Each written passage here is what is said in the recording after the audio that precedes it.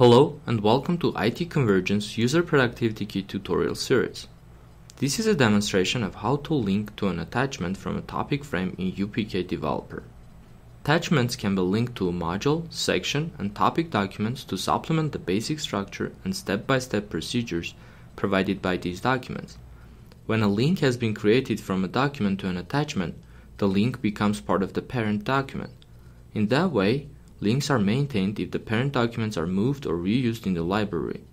From an outline, an attachment can be linked at the following three levels the concept of a module, section, or topic, a frame of a topic, and the bubble text in a topic frame, including introduction and end frames. In this tutorial, we will focus on linking attachments from a topic frame. It is possible to link from any frame to one or more attachments, and in that way, provide information to users as they view a topic. To link to an attachment from the topic frame, open the topic in the topic editor and navigate to the frame from which you want to link to an attachment.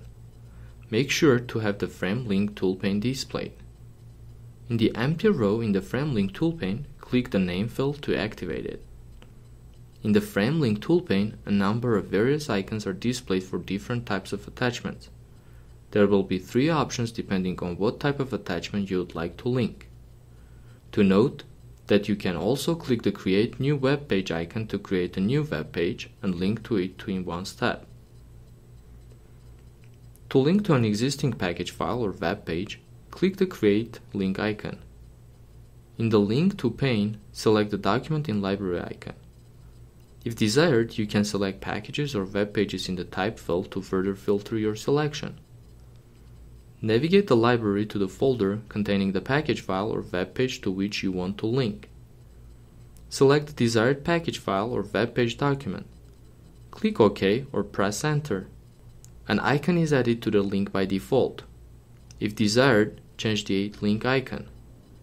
The icon appears in the frame bubble when the user views the topic in the player. The word link is added as the default tooltip.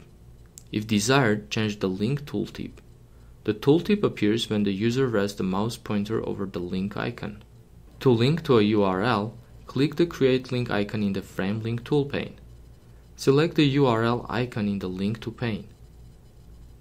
In the address field, type or paste the target URL. If a base URL was set, you can enter a relative URL beginning with a slash. Click the Go icon or press enter. While selecting a URL, you can also enter the base URL and then follow links in the preview displayed in the results pane to reach your desired target. Click OK or press enter. An icon is added to the link by default. If desired, change the link icon. The icon appears in the frame bubble when the user views the topic in the player. The word link is added as a default tooltip. If desired, change the link tooltip. The tooltip appears when the user rests the mouse pointer over the link icon.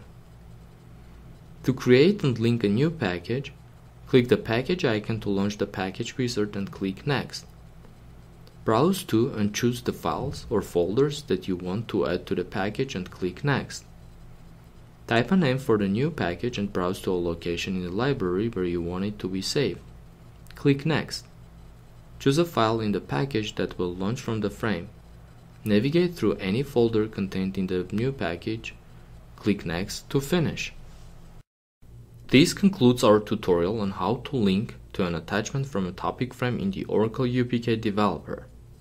On the behalf of IT Convergence, I would like to thank you for your time and invite you to join IT Convergence YouTube channel where you can learn more about User Productivity Kit features and functions.